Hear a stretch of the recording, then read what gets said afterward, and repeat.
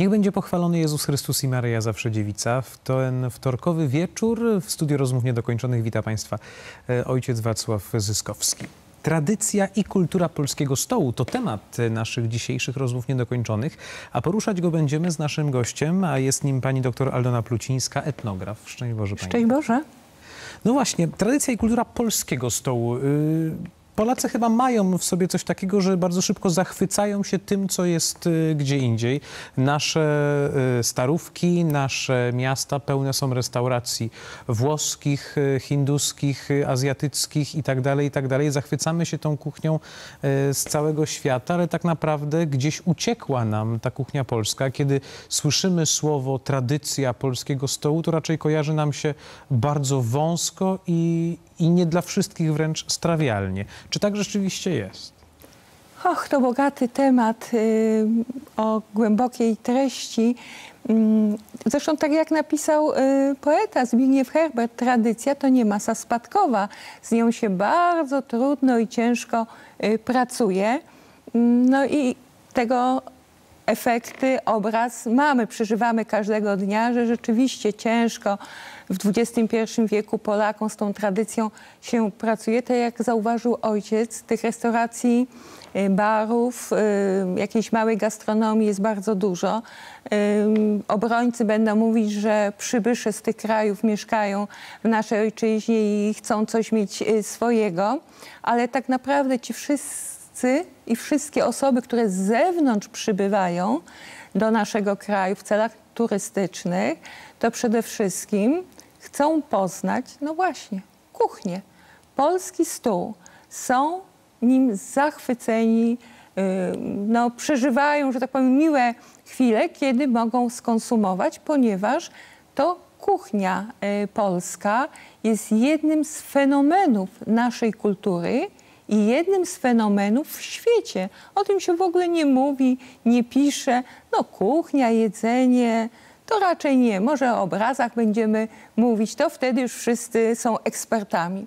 Okazuje się, że ten fenomen uratował Polakom życie, kiedy nas nie było na mapie świata. Ponieważ jedzenie to i sakrum, i profanum. E, poprzez jedzenie można być zbawionym, ale poprzez jedzenie można osiągnąć piekło to przepięknie autorka mm, takiej pozycji o polskiej y, kuchni, kuchni romantycznej właśnie opisuje, czym naprawdę to polskie jedzenie, ten polski stół y, był i jest.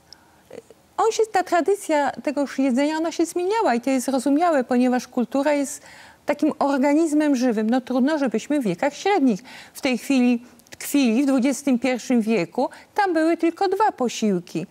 Obiad i wieczerza.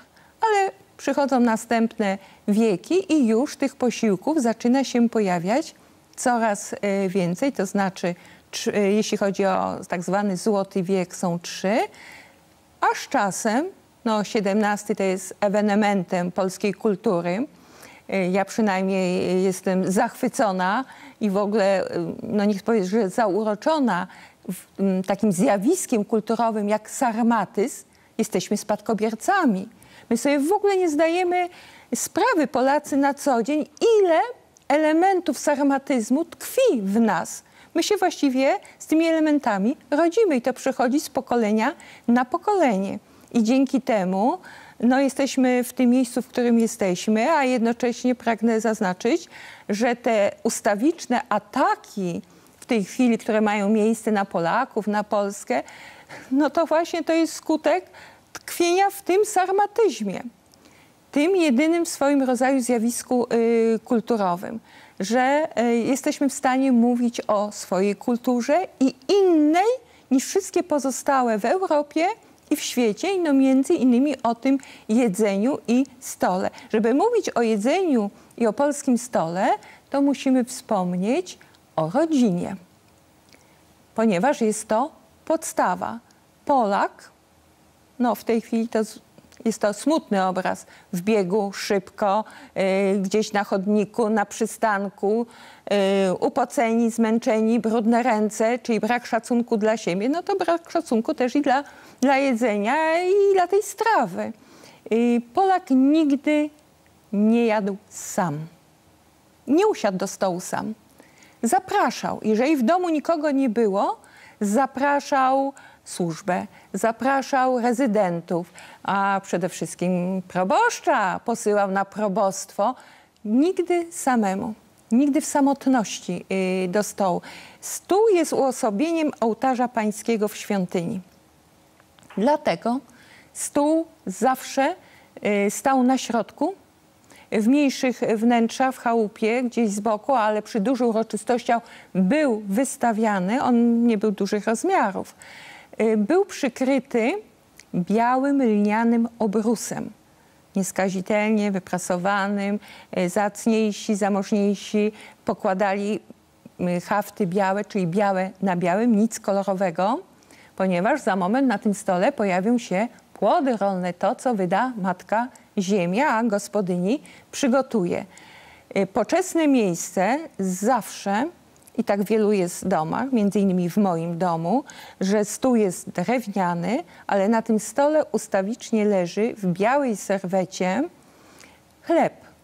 Chleb y, w takich y, jeszcze z ogromną tradycją domach, y, domach obok chleba stawia się sól. Stąd to witanie chlebem i solą przy dużych uroczystościach po dzień dzisiejszych, rodzinnych, narodowych. Czyli to ten element znowu z tego sarmatyzmu, który przetrwał, zminiaturyzowany, ale jest w tej formie szacunek do chleba, do bochna chleba. I mała dygresja w tym momencie z mojej strony, bo za moment rozpoczną się dożynki przeróżne, parafialne, gminne, e, wioskowe, wojewódzkie, prezydenckie. No i niestety to nie jest święto chleba, to nie jest święto Eucharystii. My tam mamy do czynienia z festynem. Nawet używa się określenia piknik, który w ogóle nie jest związany z polską kulturą i z polskim y, nazewnictwem, y, określeniem. Czyli szacunek do chleba. Dlaczego ten chleb leżał na środku stołu? Ponieważ domy polskie nigdy nie były zamykane, nie były kluczone ani brama, ani dom. Ktokolwiek szedł przez wieś, ktokolwiek zbliżył się przy dworze, przy pałacu, mógł do tego domu wejść i zawsze uzyskał gościnę. Jeszcze w latach 80. prowadząc badania na Kaszubach, e, sędziwi Kaszubi powiadali do mnie, no wie pani, jak te bose antki się pojawiły, to znaczy my z centralnej Polski, to Kaszeb zaczął zamykać swoją, e, swoje domostwo, a tak wchodziło się i można się było poczęstować tym, co na piecu, tym, co leżało y, na stole. I to jest ten przykład tej polskiej gościnności, która jest tak niesamowicie wyśmiewana w krajach Europy y, Zachodniej, wytykana, że, bo to jest związane z tym czapkowaniem, ponieważ jak zapraszał Polak, nasz przodek, to głęboki skłon czynił, zdejmował czapkę. To jest ten element właśnie tego sarmatyzmu. Dla nas jest to szczególne, y, ma znaczenie, ten gest i w ogóle taki kod kulturowy, znak, po czym my się możemy y, rozpoznać. Inni uważają, że jest to bardzo, y, bardzo śmieszne. Mm, Jest stół, jest to, co najważniejsze, chleb na tym stole. I teraz te strawy, te strawy i sposób podawania, sposób przygotowania. No oczywiście, y, skoro stół, skoro domostwo, to rodzina, pan domu, gospodarz i pani domu. Jak y, wyczytujemy w wersetach y, poezji staropolskiej, w utworach, to jest dar Boży. Dobra żona, gospodarna, ponieważ ona buduje harmonię, całą harmonię tego domostwa i tego wszystkiego, co na tym stole się e, znajdzie. To ona doglądała i nieważne, jaki miała tytuł książęcy czy też nie, ona się tym wszystkim zajmowała i przygotowywała, miała nadzór. E, Samo nazewnictwo poszczególnych osób, które miały przydzielone no, bardzo maleńkie odcinki, ale bardzo ważne, y, bo na przykład kobieta zajmowała się apteczką. I taka nazywała się, nazywano ją szafarką. A przecież my to określenie znamy, mówimy, odnosimy do Matki Bożej. Szafarka łask. A ta szafarka, ponieważ w zależności od konkretnej, potrzebnej sytuacji otwierała, odkluczała tą apteczkę i tamte specjały i zamorskie, ale nie tylko, własnoręcznie wykonane, zarówno do jedzenia, jak i w momencie potrzebne do leczenia, dysponowała y, i przekazywała y, osobom zainteresowanym. To właśnie od kobiety, od żony, pani domu zależało, co na tym stole się znajdzie, co domownicy, goście, ci wszyscy, którzy no, przez cały rok w tych domach e, byli, rezydenci na wycugu, szczególnie osoby zimą do, na przednówku, należało ze wszystkimi się e, podzielić jedzeniem. E, ojciec zwracał uwagę, że no właśnie tak dużo produkowano, to znaczy ta ziemia wydawała te plony, wszystko zbierano. Przygotowywano te zapasy w różnej formie na zimę, na ten przednówek, aż do następnego lata i jesieni, ale dzielono się. I to znowu ta następna charakterystyczna cecha dla Polaków, e, to dzielenie się z innymi. Może w innej formie, ale w takiej, no jest to obraz y, wizualny duży, jak Polacy potrafili się podzielić z tymi, którzy potrzebowali, potrzebują tej pomocy sąsiadami za wschodniej granicy. I znowu to jest ta pozostałość tegoż sarmatyzmu. Nigdy nie zamykaliśmy się na drugiego y, człowieka, Nikt nie zamykał domów, podwórek, y, a wręcz przeciwnie, przyjmował i chętnie spraszał i zapraszał i nie wypuszczał z tego domu. No dobrze, ale to, bo to wszystko brzmi wspaniale i to jest taka cudowna, sentymentalna podróż. Dziś, kiedy no, bardzo duży procent społeczeństwa mieszka chociażby w blokach, tak? kiedy my nie mamy możliwości posiadania tego swojego kawałka ziemi, kiedy nawet ciężko jest tym naszym 40 metrach kwadratowych i to i tak jest do duży, duży sukces, y, ustawić ten stół na środku, a już, co już dopiero e, mówić o jakimś takim stole dębowym i o tym podejmowaniu gości, bo człowiek czasami sam ma problem, żeby znaleźć miejsce, żeby się tam gdzieś e, e, ułożyć. Jak w tym wszystkim odnaleźć tą polskość, tę polskość w naszym właśnie codziennym funkcjonowaniu takim? Ale to zależy tylko i wyłącznie od nas. Jeżeli stać mnie na powieszenie na ścianie iluś tam metrowego ekranu i patrzę w ten ekran jak w oblicze Pana Boga i leżę na kanapie jak w czasach rzymskich, antycznych, to stać mnie również, żeby zamówić i wnieść, zbudować, zbudować, a jeszcze lepiej, gdyby młody człowiek, pan domu, zbudował własnoręcznie, jak to czynili nasi przodkowie i nie tak dawno jeszcze nasi ojcowie, właśnie ten stół, krzesła, nie z doskoku, nie stół szwedzki, bo on się dużo, dużo później pojawia i nie ma nic wspólnego y, z polską y, kulturą, jest elementem obcym. To wszystko zależy od nas, czy my tego pragniemy, chcemy identyfikujemy się z polską kulturą i rzeczywiście jesteśmy Polakami. Bo jeżeli nie, to jest nam wszystko, wszystko jedno. Są maleńkie, maleńkie sygnały, gdzie sąsiad, jeżeli ma więcej jabłek na działce, dzieli się, mam na myśli y, bloki, mieszkańców y, bloków, y, dzieli się z sąsiadką i tą torbę tych jabłek przynosi ale ci mieszkańcy tych blokowisk, jak powiadał świętej pamięci mój tata, dziecko, z bunkru to ty nigdy domu nie zbudujesz. Święte słowa i rzeczywiście, ponieważ mieszkańcy bloków, szczególnie młode pokolenie, młode, zachowuje się tak, jakby ta przestrzeń cała należała do nich. Y, zatrzaskują drzwi, muzyka jest bardzo głośna, nie rządzą żadne godziny, wszystko wszystkim jest y, wolno, y, klatka jest niczyja.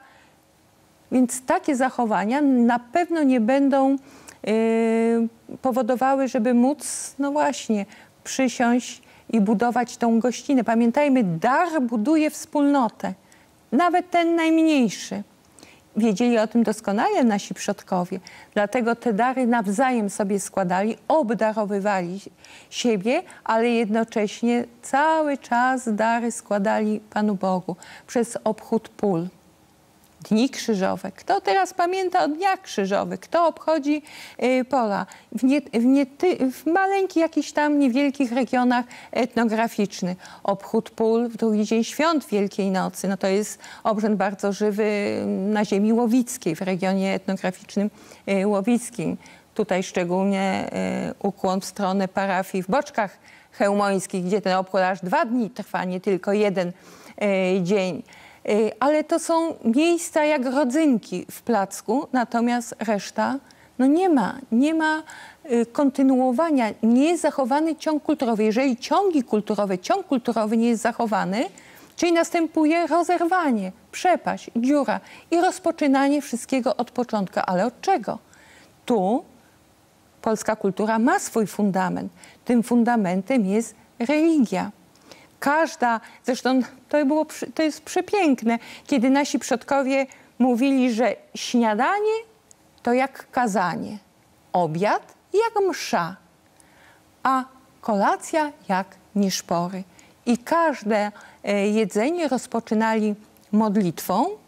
E, niekoniecznie musiała ona być aż e, tak wyjęta i wyuczona z modlitewnika, ale kontekst sakrum w tych wierszach się w strofach e, znajdował i kończyło się e, oczywiście zakończeniem Amen. Każdy jeden posiłek, e, rozpoczęcie, zakończenie, nie mówiąc już o pracach w ogrodzie, w polu, przy żniwach, wszystko rozpoczynało się znakiem krzyża i te dożynki, to zwieńczenie. W tej chwili zostało to skoncentrowane na jeden obrzęd, jeden dzień. To nie jest obrzędowość polska. Dożynki to dożynanie oziminy. Składano ten wielki, potężny wieniec. My w tej chwili też widzimy te wieńce. Ciągną na tych kółkach, prezentują. No nie, no nie. To jest, nie ma nic wspólnego z Polską. Na jakichś konstrukcjach metalowych. Składano y, właścicielowi ziemi, a potem 1 września święty idzie, nic nie widzi, czysto w polu, kiedy już i buraków, i ziemniaków nie ma. I wtedy odbywało się wspólne właśnie biesiadowanie, uczta, wspólna zabawa. Zupełnie dwa różne obrazy dziękowania za dar, za dar y, Boży. No festyn, wszyscy się kręcą, szum, krzyk. Jedni są zajęci wieńcami, drudzy swoimi y, stoiskami. Y, ale jeszcze wracając do właśnie tej sugestii ojca, czy, czy we współczesnym świecie Polacy się dzielą, poza miastem tak, tak. Każde odwiedziny etnografa w terenie, y, no to z gościńcem się wraca. Każda gospodyni stara się, no właśnie, pokazać, jaką jest tą gospodynią. A to osełka masła, a to taki chleb na zakwasie, inny ciemny, y, czy woreczek mąki, jajka. No to jest właśnie to, co miało miejsce w XVII, a nawet XVIII y, wieku. Po później już XIX troszeczkę inaczej to się zmieniało. Wtedy y, zaczęto wprowadzać na modłę Europy Zachodniej proszone śniadania. Te śniadania, one były koło południa albo po południu, tuż godzina 13 i najczęściej pani domu nie brała w nich udziału. Mm, to pan domu często w gabinecie załatwiał interesy, a potem były proszone obiady, czy też proszone kolacje i rzeczywiście były to bardzo wystawne. My w tej chwili no, nawet nie mamy określenia, żeby powiedzieć e, i użyć tego określenia, e, jak to była suta uczta. W tym XVII-XVIII wieku na stole podczas takiego obiadu, wcale nie proszonego, 60 potraw się pojawiało. 60 potraw, one musiały być o dużych okazałościach. Nie żaden bulion, no cóż to bulion, to jest zupa francuska. polska zupa, a to i żur, a to bar szczawiowy, no to jest czym się posilić. Ale takiego posiłku na pewno nie jedzono w 15 minut, nie jedzono go w pośpiechu. Nie jedzono w pośpiechu, nie jedzono w pośpiechu, bo temu wszystkiemu jeszcze towarzyszyły słynne polskie miody. Panowie, nasi przodkowie zachwycali się węgierskimi winami, natomiast nic, co na przykład nie używano w ogóle wody. To w ogóle dla sarmaty, no woda, no cóż to woda. Miód, miód. Zresztą sam Ignacy Krasicki właśnie skreślił e, strofy mówiące e, no, o tym, że jak to Polak, zresztą to są słowa bardzo aktualne na dzień dzisiejszy, że cudze wszystko się chwali, a swoje nie wręcz wyrzuciło miody i własne e, piwa. Pamiętajmy, najstarszy browar w najstarszym źródle historycznym, jak czytamy, znajdował się właśnie u mnichów w Tyńcu. Czyli y, takie browary były przy, przy dworach, przy pałacach, zatrudniano sporo osób, no ale i miały swoje e, receptury, których w ogóle nie zdradzano i nie przekazywano, tak jak e, te receptury były ustnie albo poprzez podglądanie, oglądanie tych, którzy w tym y, uczestniczyli. Mam tu na myśli dziewczęta, kobiety, które jak gdyby ta wiedza z pokolenia na pokolenie. I, I produkty, które wchodzą na listę produktu tradycyjnego, tą ministerialną, y, no właśnie w ten sposób tam wchodzą, że mają te 25 lat co najmniej na danym terenie. No i tam pada takie pytanie y, w ankiecie etnograficznej, wywiadzie etnograficznym, skąd ta receptura, w jaki sposób y, pozyskana.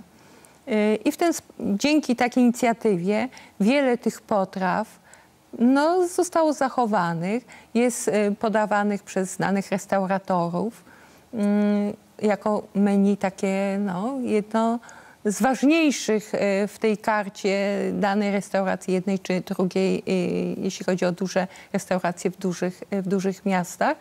I to jest właśnie sposób też na promocję polskiej kultury, szczególnie właśnie jedzenia, bo dzięki temu, że mm, taką niesamowitą wagę przywiązywano do tego jedzenia, do y, budowania tych stołów, nakrywania tych y, stołów. No nazwa stolnik to jest ten, który nakrywał stół i tylko wyłącznie stołem się zajmował, niczym innym. Y, Ja mm, odsyłam szanownych telewidzów, telewizji Trwam i, i radiosłuchaczy Radia Maria, żeby sięgnęli w ten czas po pana Tadeusza Adama Mickiewicza. Tam przepiękne opisy, jak wyglądał polski dwór, polski dom, co wokół tego dworu się znajdowało, jak te właśnie ogrody i sady i, i ten las, co on tam dawał i co na tym stole, ta słynna uczta polska bardzo dokładnie jest y, opisana i kto i w jakiej kolejności do tego stołu usiadł. Właśnie to jest moje pytanie. Co na tym stole się znajdowało? To, co daje przede wszystkim zagroda, co z inwentarza. Oczywiście zacniejsi, zamożniejsi, yy, no tu w tym momencie pewno ekolodzy zaraz głos podniosą, co też tu etnograf mówi, jak tu można zwierzątka zabijać, yy, ale polowania się odbywały. Nie tylko na Hubertusa, ale w ciągu y, całego roku. Jeżeli właścicielem był pan, y, który posiadał lasy, no to zapraszał na polowanie. Zresztą no i ci, którzy mm, byli taką pomocą, również szli, polowali na gonka. Y, Polowano najczęściej oczywiście to na jakąś mniejsze ptactwo i zwierzynę.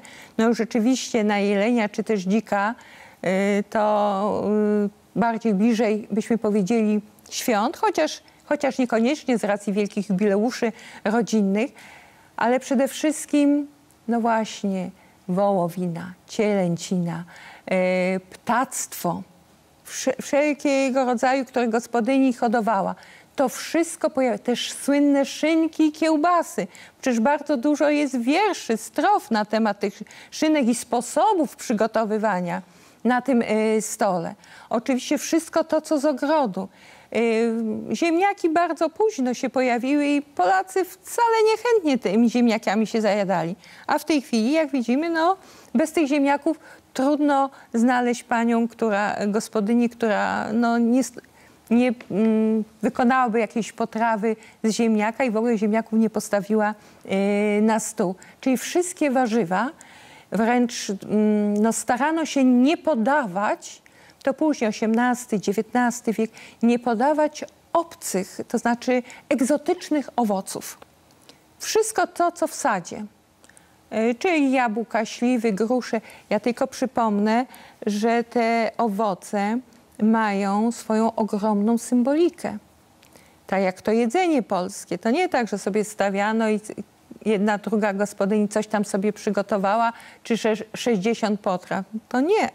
To jest właśnie ten cały kod kulturowy. Jabłko, symbol władzy, królewskości. Chrystus dzierży jabłko w dłoni. Królowie, symbol władzy. Te jabłka się pojawią podczas wieczerzy wigilijnej. Mówi się o, o sercu, y, o tych właśnie nasionkach, które się tam y, znajdują. Gruszka, symbol maryjności. Śliwy, przecież te owoce były przez największych mistrzów pędzla malowane.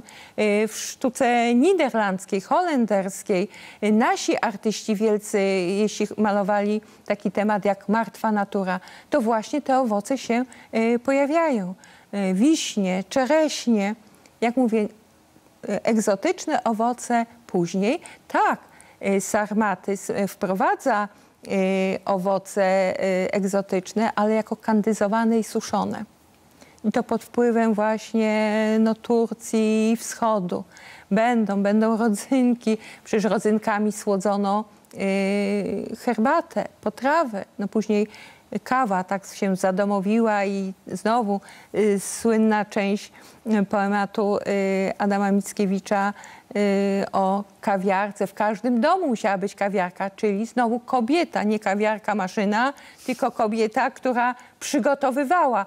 Inaczej spożywały panie, zresztą inne śniadania były dla pań, a inaczej kawę spożywali y, mężczyźni bo często y, do tej kawy no, spożywano y, napoje procentowe. To, mm, no, ale najczęściej to było przy, przy podwieczorku. Później jak zostały wprowadzone podwieczorki, to y, likiery się pojawiały. No i te likiery przygotowywano właśnie o tej porze, żeby na czas zimy i do tych podwieczorków później na wiosnę również, czy jeszcze, jeszcze zasięgnąć lata na początku, żeby można było, bo gospodarna gospodyni, to nigdy jej tego jadła nie brakuje i tych przysmaków, które przygotowała, żeby móc obdarować. E, tak jak to chociażby, no i w XX wieku nasze babcie czyniły, że ktokolwiek przyjechała rodzina, wnuczęta, prawnuczęta, to były obdarowywane, no właśnie, a to kurą, a to kaczkiem, kaczką, a to jajkami. Co e, babcia czy tam mama posiadała od serca, ten dar sama uhodowała, sama karmiła, czy y, w ogrodzie wyhodowała i dzieliła się ze swoimi dziećmi, czy też, y, czy też y, wnuczętami. Ale wróćmy jeszcze, że oprócz tych mięsiw, oprócz warzyw, które się pojawiały, no to przede wszystkim te bardzo dużo sosów. No tu dominował ten chrzanowy sos, zawiesiste, potężne były zastawy, jeżeli to można nazwać zastawami, brytwanny, wręcz e, półmiski, bo porcelana, najpierw fajans, a potem porcelana bardzo późno się pojawia. Ona jest jedyna w swoim rodzaju, słynne ośrodki, e, w których produkowano, gdzie pojawiają się herby, podobnie jak i na kryształach, na pucharach. No, w tym XVII wieku nasi przodkowie mocne mieli głowy, ponieważ taki kielich do miodu, do piwa, wina mieścił w sobie 3 litry. Nie miał nóżki, y, bo należało go wypić i wtedy można było go dopiero na tym stole odwrócić. Y, w XVII wieku nie wszędzie były te przepiękne białe obrusy, bo przykrywano kobiercami. Z estetyką również w naszym rozumieniu, e, no byśmy może teraz e, bardzo może negatywnie, czy też ujemnie to ocenili, ale z gustami się e, nie dyskutuje. Przyjmujemy, my etnografowie rejestrujemy to jako fakt kulturowy, ponieważ o te bardzo drogie kobierce, no właśnie te tłuste dłonie, palce wycierane, kości pod stół, rzucano y, i stawiano następne, następne y, potrawy, czy też te miski nie sprzątano i były z już napoczętym jedzeniem, bądź też już skonsumowanym z resztkami tego jedzenia. Czy wszyscy mogli te potrawy spożyć, w tym na przykład XVII wieku, no XVI to jest dużo potraw włoskich z powodu królowej Bony. Mm, zresztą te potrawy pozostały do dnia dzisiejszego. Dlatego, że do tego stołu zasiadano według urodzenia, zajmowanego stanowiska. No i kto tam w tej hierarchii był na końcu, to i na końcu mógł sięgnąć, e, sięgnąć po tą potrawę. Ja tu nic nie wspomniałam, mm, nie było ciast, słodkości. Nasi przodkowie e, w dobie sarmatyzmu za tymi słodkościami nie przepadali, poza tymi słodkimi Y, ta kuchnia w ogóle była kwaśno-słodka, o jeżeli tak można byłoby y, określić. Ciasta, te torty, tak, XVI wiek, potem dopiero te słodkości zaczynają y, jak gdyby dominować, czy też królować, ale to też wpływy, wpływy zewnętrzne. Natomiast ja nie wspomniałam, bo tu mówiłam o tych y, dużych y, brytwannach, czy też tacach. One y, z przeróżnego materiału były wykonywane, bo i nawet z drewna też, takie wydłubane, żeby na przykład no, prosie albo półprosięcia też się znalazło, czy ptactwo, które było nadziewane, a na zewnątrz miało na przykład pióra, taki bażant. E, albo paw e, ubierany. Czyli proszę zwrócić uwagę, to jest swoiste teatrum. To jest całe teatrum, sztuka, sztuka ubierania stołu, tego wszystkiego, co na tym się stole dzieje i wokół tego stołu ten podział, podział ról. Mm, natomiast na tym stole nie było łyżki, noża, widelca, nie mówiąc już o łyżeczkach i pomniejszych, to dopiero z czasem ten cały garnitur pojawia się e, na stole, tak bardzo wyspecjalizowany, już nie mówiąc o przyrządach do, do ostryg. No, Sarmata wyśmiewał ostrygi, że cóż to, czy ślimaki, cóż to zadanie. Tu właśnie prosie jak leży na półmisku. To jest dopiero jedzenie i ten tłuszcz kapiący. Ja tylko y, przypomnę, no właśnie, my tak troszeczkę się uśmiechamy, inni się z nas śmieją, wytykają. No tak, jedli, jedli i przejedli ten kraj i stracili wolność. No nie. Estetyka y, w XVII wieku i, i ponieważ opad kulturowy jest w takim układzie wertykalnym, czyli z góry na dół ta transmisja kulturowa e, się odbywa. Mamy tą estetykę zachowaną w kulturze tradycyjnej po dzień dzisiejszy. E, że to, co cieniutkie, chudziutkie, ponieważ dziewczęta no, w Polsce chcą być właśnie takie smukłe, nieomalże jak na wybiegu, to jest odznaka czegoś złego, niedobrego. To jest przykład na chorobę, w ogóle nie do pracy, pewno i niezdrowa. No to jaką ma być żoną i tu tak intensywnie pracować?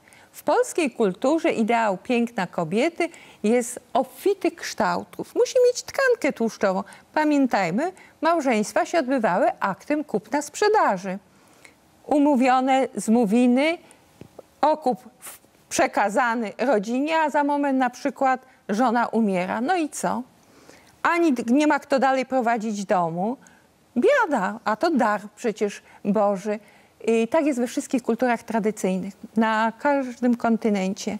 Kobieta musi mieć odpowiednią wagę, odpowiednie kształty. W innych kulturach, na kontynencie azjatyckim czy też afrykańskim, stąd tak specjalne są stroje podkreślające tą tkankę tłuszczową. Wręcz liczy się, ile tych fał tłuszczu posiada na przykład no to znaczy, że jest odpowiednią, odpowiednią y, kandydatką na żonę, na panię, panią domu. I przykład y, z mojego środowiska etnografów, nie tak dawno, y, koleżanka prowadziła y, badania na Sandomierszczyźnie, y, weszła do domu, a gospodyni odpowiednich, nie chcę powiedzieć, kształtów i wagi na boso stanęła, bo jeszcze była w stroju i spojrzała i krzyknęła ze zdziwienia i mówi, kobito, a coś ty się tak wyliniła, czyli taka linijeczka, cieniutka.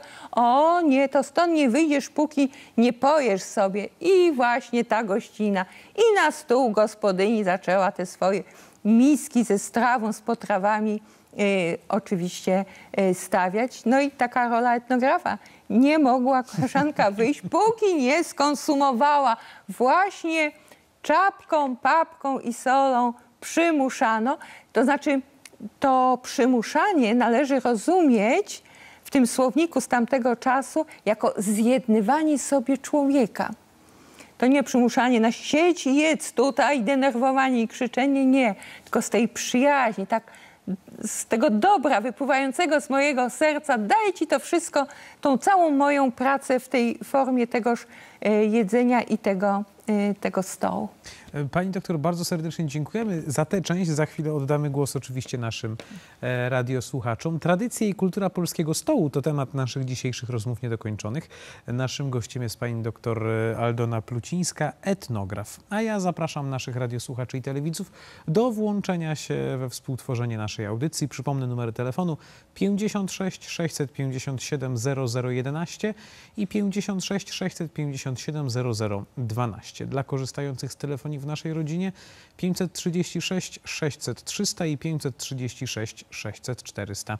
Dla telewidzów i słuchaczy z zagranicy 48 to kierunkowy do Polski, a następnie 56 657 0013 i 56 657 0014. Natomiast Pani doktor, ja mam pytanie y, trochę inne, bo mówimy o sarmatach, mówimy o dworach, mówimy o potężnych rodach magnackich i, i o tych takich wielkich, wystawnych ucztach, no ale y, jak to wyglądało w tych takich, y, powiedzmy, najniższych domostwach, gdzie no nie było takiej obfitości, choć nawiązując dzisiaj do, do tego, o czym Pani też mówiła, a mianowicie do Pana Tadeusza, to tam przecież mowa jest o tym, że dzielono się z tymi najuboższymi również y, płodami roli, y, którą tak naprawdę pracą, którą oni wykonywali. Dzielono się i to jest właśnie też jeden z takich fenomenów, ale dzielili się też zamożni gospodarze. Jak wspomniałam, z tymi, którzy byli przygarniano, y, osoby, które szły na tak zwany wycuk właśnie jesienią, zimą. Przykład, taka scena jest w Chłopach y, Rejmonta y, ukazana.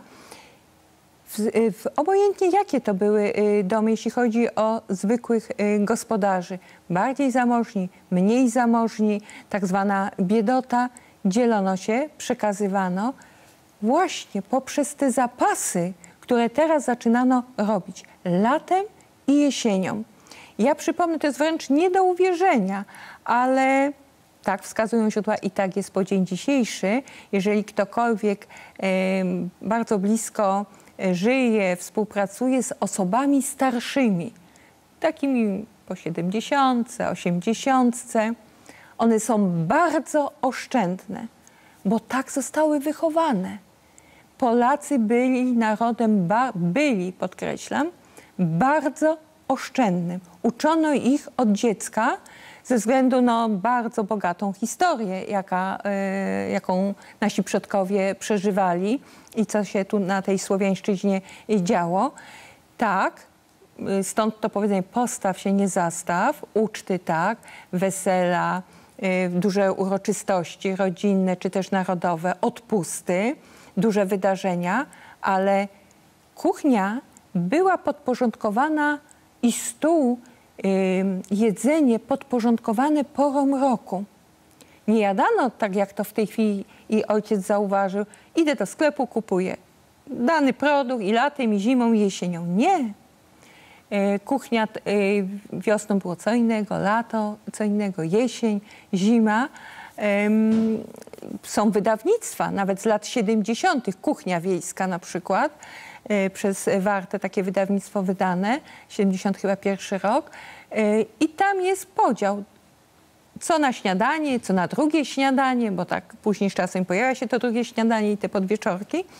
Y, całe menu na cały tydzień, na cały tydzień, od poniedziałku czy od niedzieli do następnej niedzieli, co należy zjeść, co należy podać na śniadanie, drugie, obiad, podwieczorek i kolację. Szczególnie te podwieczorki później jak gdyby były dedykowane i przekazane tylko dzieciom. Już nie dorośli, a tylko wyłącznie mm, dzieci konsumowały. To samo się działo y, z następną porą y, roku, czyli wiosna, lato, jesień, zima. Mało tego, też sobie z tego nie zdajemy sprawy, ale y, takie publikacje są właśnie etnografów, między innymi pana Dekowskiego, to takie tuzy polskiej etnografii, czy profesora Reinfusa o pożywieniu, ale i Adama Chętnika, jeśli chodzi o pożywienie y, na kurpiach. Jak ci nasi przodkowie, to jest przecież do szkół nie chodzili, tylko poprzez obserwację natury, przyrody, w której żyli głęboko z nią byli związani, bo od tego, co na tej ziemi uhodowali, wy, y, czy na łące zebrali, czy w lesie, to od tego ich zależało życie. nazywano to jedzenie, no właśnie, i dzielono, i tak te produkty i potrawy przygotowywano, że jak wspomniałam, y, bardzo byli oszczędni ci nasi przodkowie. I wpisywało to się w kalendarz liturgiczny, czyli przychodził Adwent, poszczono. Nie radosny czas, ale taki w skupieniu oczekiwania, czyli nie będziemy jeść tego, co będziemy jeść w gody, a potem nie będziemy jeść tego, co w godach, bo to taki królewski czas, tego, co w karnawale. Potem przychodzi przednówek, a później święta, czyli rozpoczynały się przygotowania i to, co jeszcze tak należało gospodarzyć z tej jesieni, teraz, tego czasu, żeby móc przygotować święta, święta Wielkiej, Wielkiej Nocy. A ten czas Wielkiej Nocy, pamiętajmy, to nie tak jak to w tej chwili dwa dni i koniec, ponieważ świętowano i rzeczywiście świętowano, tak jak to Kochanowski święto, niechaj świętem będzie pisał ponieważ pobożność Bogu miła, do zielonych świątek, a czyli ten cały czas zielonego karnawału. Y, zielone świątki, znowu Wigilia i, i dwa dni, bo tak to wyglądało, i później następne. Y, poszczono zawsze Wigilię, ale podczas nowen. Polacy no, w jednej z audycji właśnie wtorkowych jeden ze słuchaczy zadzwoni i powiedział, Pani Aldono, no co też Pani opowiada? Tyle dni poszczono w roku Polacy. Tak, właśnie poszczono. Posty składano w ofierze, chociażby z powodu zarazy, pandemii, klęsk, wojen. Polacy potrafili pościć. Nie tylko jedzeniem, ale zachowaniem, ubraniem się, no, w tej chwili brakuje nam y, tego i w naszej przestrzeni y, no, raczej trudno o tych postach mówić. Bardzo dziękuję. Odbierzemy telefon od naszych radiosłuchaczy i telewidzów. Halo? Szczęść Boże. Szczęść Boże, któż się do nas odzwonił? Mówię Elżbieta z Poznania. Ja dzwonię, żeby podziękować Pani doktor za tą piękną audycję. Bardzo lubię ją słuchać. Jest tak y, komunikatywna, tak pięknie mówi, y, że z przyjemnością się słucha. I żal po prostu, że i żal, że to wszystko minęło i już nie wróci, ponieważ systemy społeczno-polityczne zniszczyły w nas bardzo, bardzo wiele tego wszystkiego dobrego, y, co, o czym pani doktor mówiła. Także faktycznie jak można w tych blokach tych, tych, tych klatkach naszych, w których mieszkamy, e, tak jak to bywało, rodzina z jednym dzieckiem, dwa pokoje, dwoje dzieci, e, e, trzy pokoje.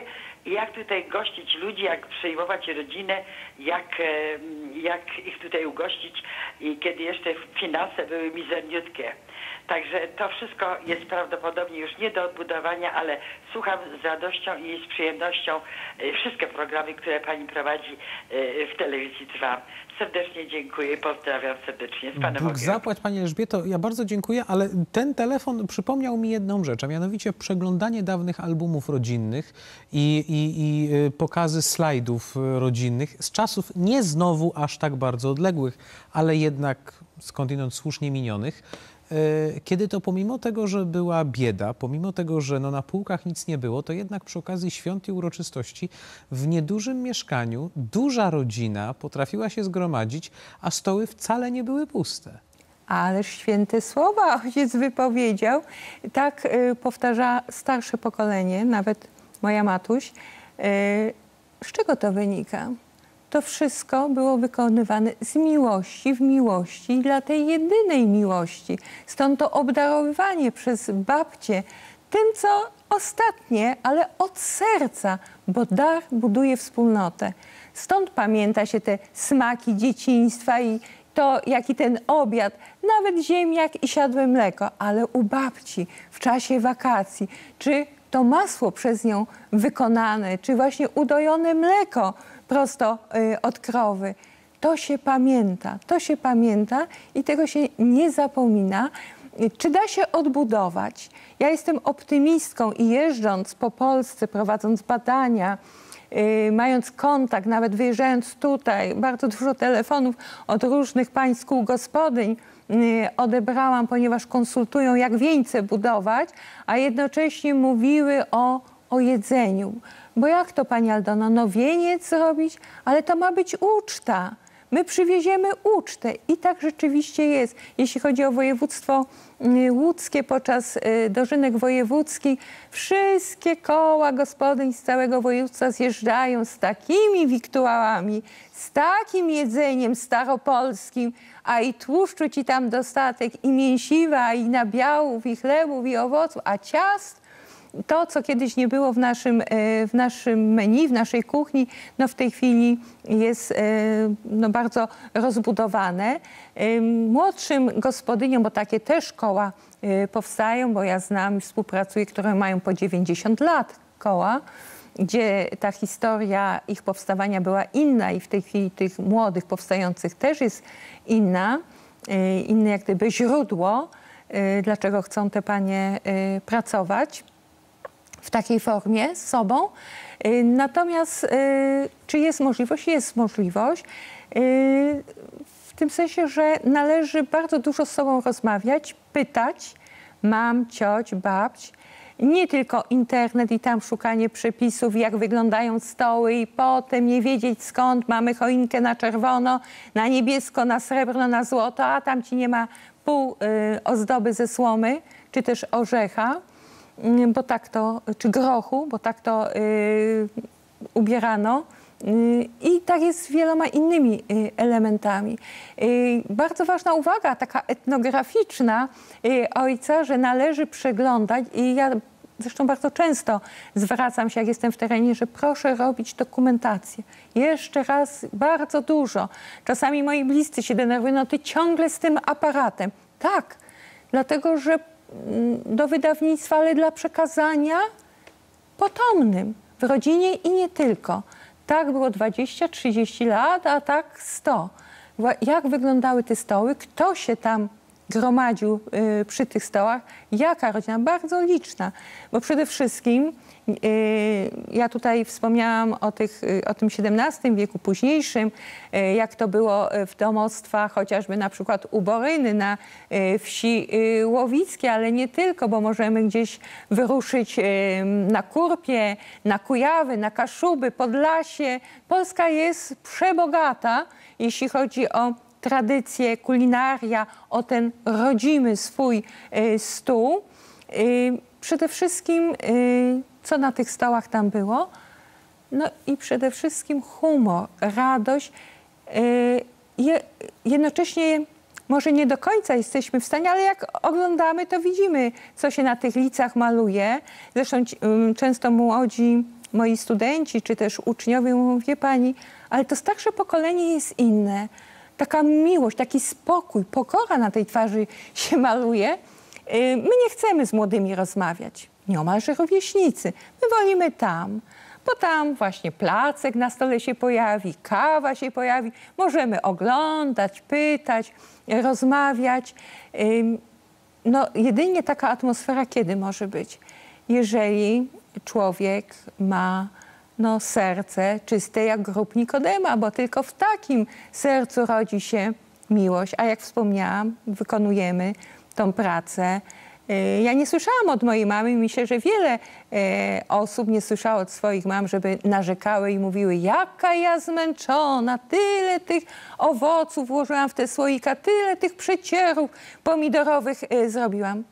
Ja przez całe swoje życie nigdy tego nie usłyszałam, wręcz, wręcz e, przeciwnie, mimo że moja matuś jest sędziwą osobą, ale cały czas już w tym roku pierwsze, że tak powiem, wiktuały, e, konfitury wiśniowe już są zrobione, oczekują gości i mm, myślę, że będą jak co roku smakowały.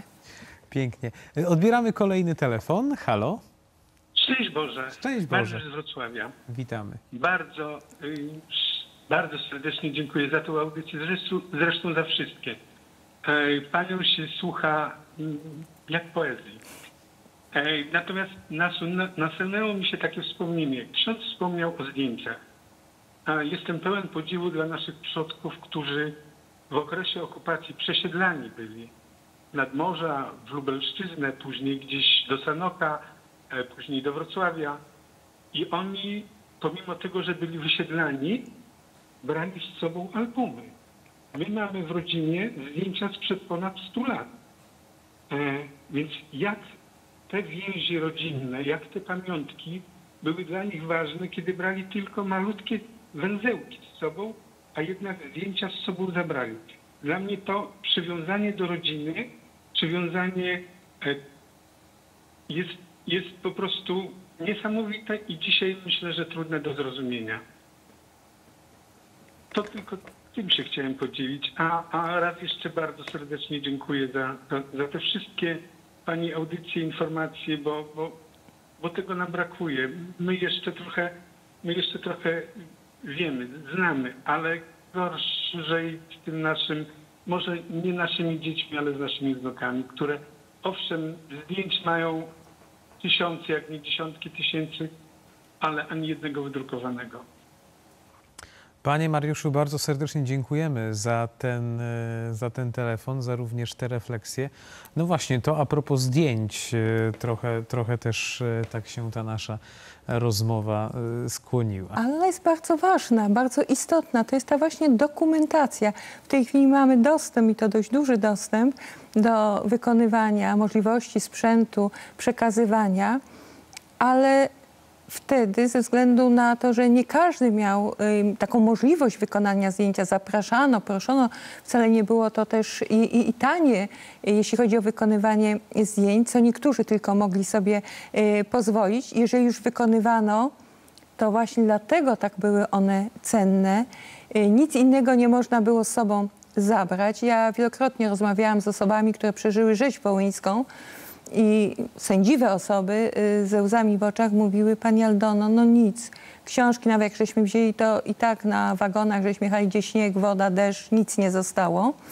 Y, To, to najcenniejsze, to między innymi właśnie te y, pamiątki i w suchary. W suchary. W drugiej części ja będę właśnie mówiła o tych poszczególnych częściach i tych po przygotowaniach pomieszczeń i w tych pomieszczeniach, co się znajdowało. Dlatego to było bezpieczne miejsce, e, żeby i nie zawilgotniały, i nie uległy zniszczeniu. I te zdjęcia, one są bardzo cenne. W zdjęciach jest bogactwo historii. Tu pan wspomniał o, o wnukach, o tym młodym pokoleniu. Mm, To nie tylko, no przede wszystkim to zależy wyłącznie od rodziców. To jest ten fundament. Jaki dom, ile, jak jesteśmy w stanie wychować, to świadczy o nas. Czy chcemy, y, żeby te dzieci znały, moje dziecko znało polską kulturę, wiedziało, gdzie się urodziło, y, w jakim jest w części ciągu kulturowego, czy nie, czy jest człowiekiem całego świata, czyli właściwie żadnego, żadnego miejsca y, co będzie w stanie przekazać, ale to jest zaniedbanie nie tylko rodziny, ale społeczeństwa. Społeczeństwa i państwa. Proszę zwrócić uwagę, To jest bardzo ważne. Ja wiele lat uczyłam w szkołach, nadal mam kontakt z różnymi, począwszy od przedszkola. No, edukacja kadry pedagogicznej kłania się tutaj, jeśli chodzi o wiedzę y, antropologiczną, y, jeśli chodzi o kulturę polską. Jest odtąd dotąd. Pani przychodzi z klasą czwartą i jest w stanie pracownikowi powiedzieć, który koordynuje zajęciami w innej przestrzeni poza, mm, poza szkolną, że y, nie ma tego w programie. To ona nie będzie uczyła tego. Czyli proszę zobaczyć, no nie chcę powiedzieć, że osoba leniwa, ale byłabym dumna, bym starała się jak najwięcej tym dzieciom pokazać i, i powiedzieć. W ten sposób buduje się e, autorytet. Czy dla nas tradycja w wielu momentach y, to jest słowo, które pojawia się tylko przy okazji świąt Bożego Narodzenia czy świąt Wielkiej Nocy, a tak naprawdę nie zdajemy sobie z tego sprawy, że ta tradycja dotyczy nas codziennie albo powinna dotyczyć nas Tak, codziennie. ale nawet jeżeli przyglądamy się, rejestrujemy, jak wyglądają święta Bożego Narodzenia i święta Wielkiej Nocy, na dzień dzisiejszy w Polsce, to one też z tradycją nie mają wiele wspólnego. Samo nazewnictwo, już nie mówię o tych wszystkich hiper, super marketach, y, gdzie w Adwencie już kolendy i w ogóle odwrócenie norm, przewrócenie tego wszystkiego. My żyjemy w śmietniku kulturowym na dzień dzisiejszy. I dobrze by było, a były takie szkoły, między innymi w mieście Łodzi, licea, w których był przedmiot etnografia. One zostały zniszczone.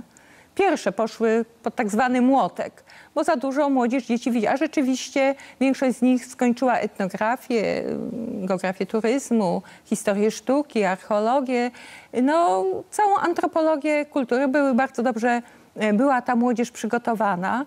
Zresztą no, pracuję w tych swoim zawodzie, właśnie niewinnym, czyli szkoła. Szkoła, proszę zwrócić uwagę, nie ma prac ręcznych, nie ma plastyki, nie ma muzyki. Yy, Przed wojną, przed II wojną światową, cztery godziny były z plastyki, a na tej plastyce można wszystko zrobić. Działania, jest ponad 100 technik yy, plastycznych. Ja pozwolę sobie przeczytać, przeczytać jak przygotowywano dziewczynki dwunastoletnie w Polsce, żeby być dobrą panią domu, gospodynią. Yy, Maleńki fragmencik.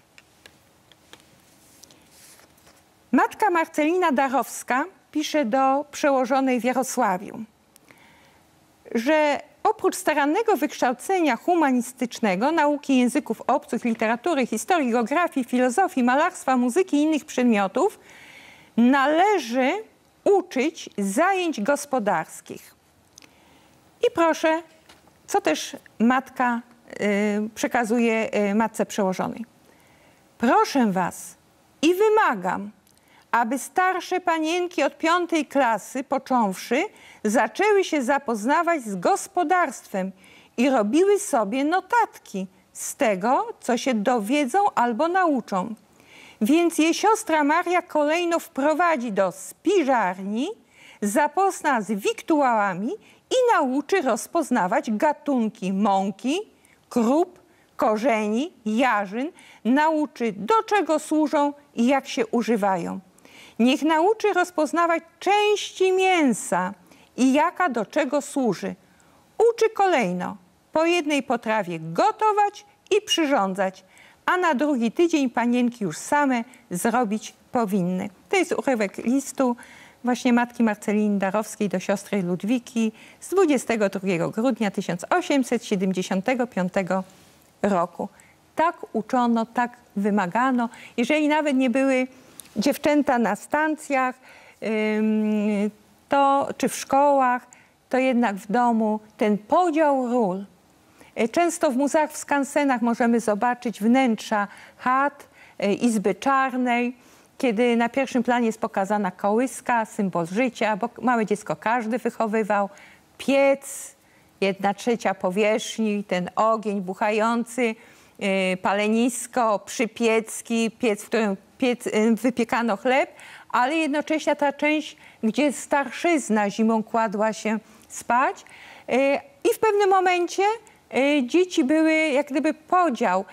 Panowie pod kuratelę brali chłopców już od siódmego roku życia, chłopcy przygotowywali się, no, obserwując, biorąc udział w większych, mniejszych zajęciach, a dziewczęta zapoznawały się z pracą babci, mamy. Na przykład, jak się e, kokosz na jajka nasadza. Wcale nie jest to łatwe i żeby jeszcze nie zeszła, a ogrzała i wszystkie pisklęta się y, pojawiły. Czyli y, jednocześnie przebywanie z ptactwem domowym, ze zwierzętami, y, co można z nimi czynić, y, czego nie, co należy im podać, jak się należy zachowywać. Później w tej obrzędowości, właśnie w tym karnawale zielonym, w tej obrzędowości y, bierze udział młodzież.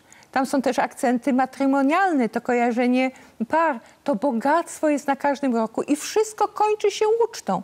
Kończy się wypiekiem ciasta obrzędowego, kołaczami, korowajami. Nie tylko podawano je podczas y, wesela. Y, również wykorzystywano inne wiktuały, jak między innymi masło, sery, y, jajka, ponieważ to, co ja wymieniłam, jest symbolem y, życia. To jest tłuszcz. No, serem spraszano na wesele, bochnem sera. Drużyna weselna wędrowała, bo nie każdego było stać na ten ser, stąd sery suszono, a jakżeż musiały się również znaleźć w komorze i tak umiejętnie, że te kilka miesięcy musiały przeleżeć. Także e, wszystko jest możliwe, tylko chęci. Chęci, chęci, jeżeli są i pragniemy bardzo, żeby to się e, stało i czy wydarzyło, to na pewno tak się e, stanie. Ale w tym wszystkim musi być miłość do tego, co, co polskie, do tego, co już było w przeszłości, do naszych przodków, mm, dziadków, babci, rodziców. To jest szacunek w ten sposób okazujemy. Bardzo dziękuję. Odbierzemy kolejny telefon. Halo? Halo? Szczęść Boże, któż się do nas dodzwoni? Szczęść Boże, Elżbieta y, z Pomorskiego. Y, Ja chciałam się podzielić wspomnieniami y, z dzieciństwa, bo ja mieszkałam w Gorzowie Wielkopolskim, natomiast w mieście, natomiast moi dziadkowie na wsi.